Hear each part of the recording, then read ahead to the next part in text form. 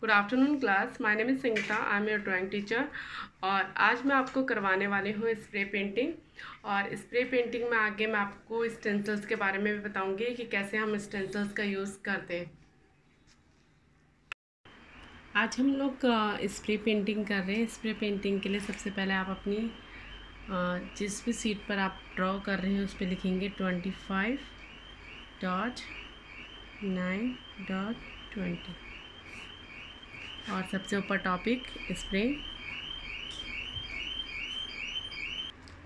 Painting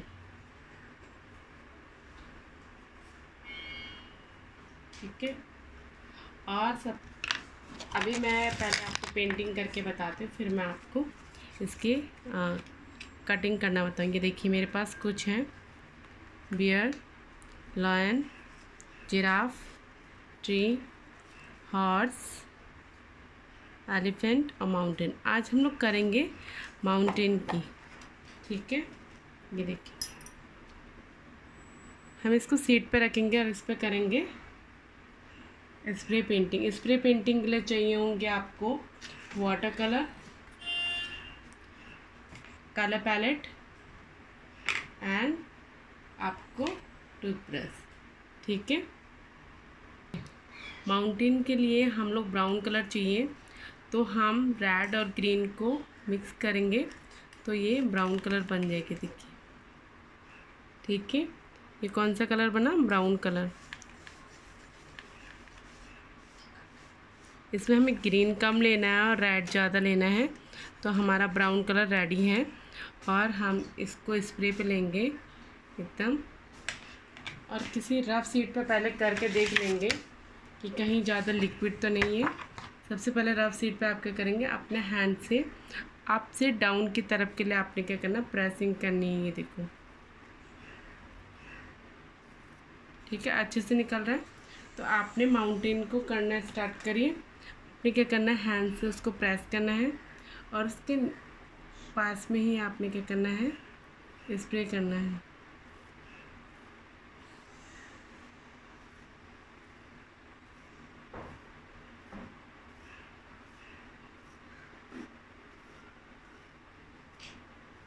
आप इसकी अपने चॉइस के अकॉर्डिंग बहुत सारे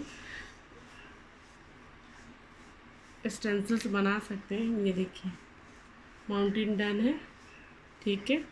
और आप इस पर नेम लिख के इसको मेंशन करिए।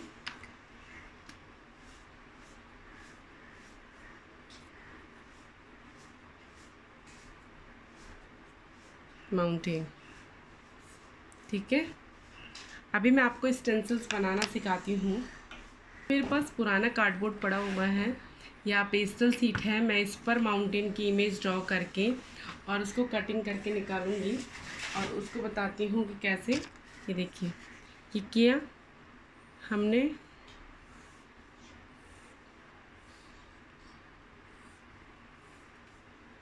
इसकी कटिंग कर निकाल लेंगे। ये लाइन ड्रॉ कर दी।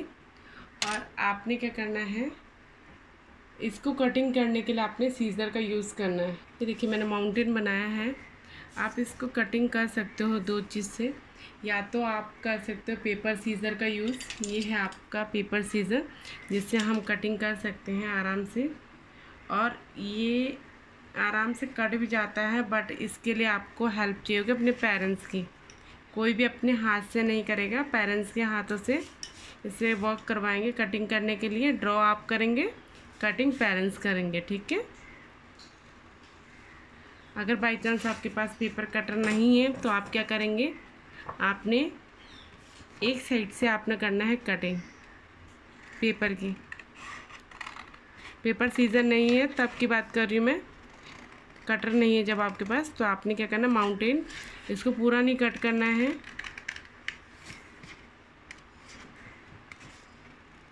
कहीं पे भी एक्स्ट्रा कट नहीं लगना चाहिए। देखिए।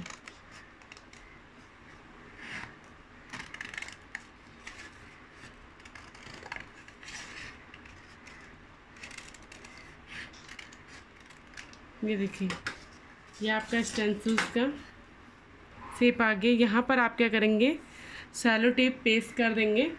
और सेलो टेप करने के बाद आपके पास दो दो स्टेंसिल्स आ गए, या तो आप माउंटेन अगर आपको माउंटेन के बाहर आपको स्प्रे करना है तो आप वो भी कर सकते हो। सेलो टेप लिया और सेलो टेप के हेल्प से मैं क्या कर रही हूँ, देखिए। उसके कॉर्नर पे पेस्ट करूँगी।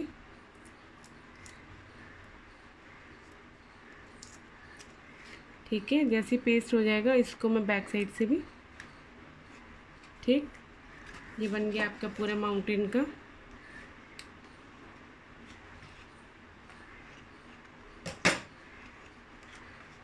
ये आपका जॉइंट भी हो गया और कोई अब इसके ऊपर करते हैं। अभी मैं बता रही हूँ, ये वाला जो हम लोगों ने ये भी बनाया है, ये भी उतना ही वर्क करता है जितना कि पहले वाला कर रहा था। ठीक है? बस इसमें क्या है, आप साइज़ अपनी चॉइस के अकॉर्डिंग कर सकते हो। जितना साइज़ आपको चाहिए, आप उतना ही साइज़ इसमें बढ़ा सकते हो। ऐसे आपने अपने हैंड से प्रेस करना है सीट को।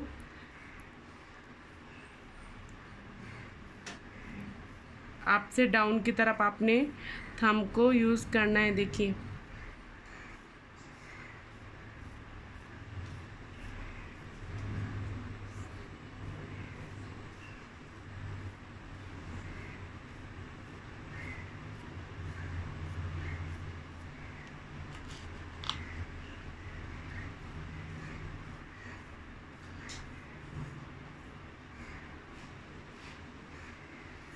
ये देखिए।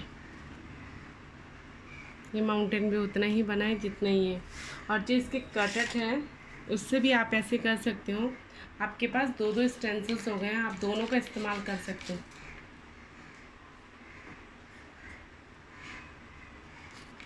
ये देखो ऐसे।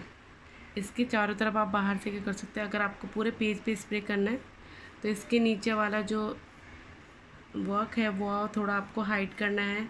आपको माउंटेन हाइट करना है। देखो। माउंटेन के बाहर से जितना भी आप स्प्रे करेंगे, उसके बाद देखिए आपके पास पूरा एक अच्छा सा माउंटेन का इमेज निकल के आ जाएगा।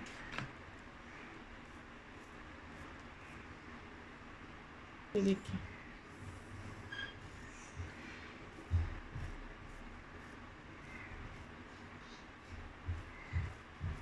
अब इसको जैसे उठाएँगे, देखिए। दोनों ही तरीके से स्प्रे पेंटिंग सक्सेसफुल है। तो आप लोगों ने ऐसे ही वर्क करना है। ओके क्लास आज के लिए थैंक यू और अपना काम अच्छे से करिएगा।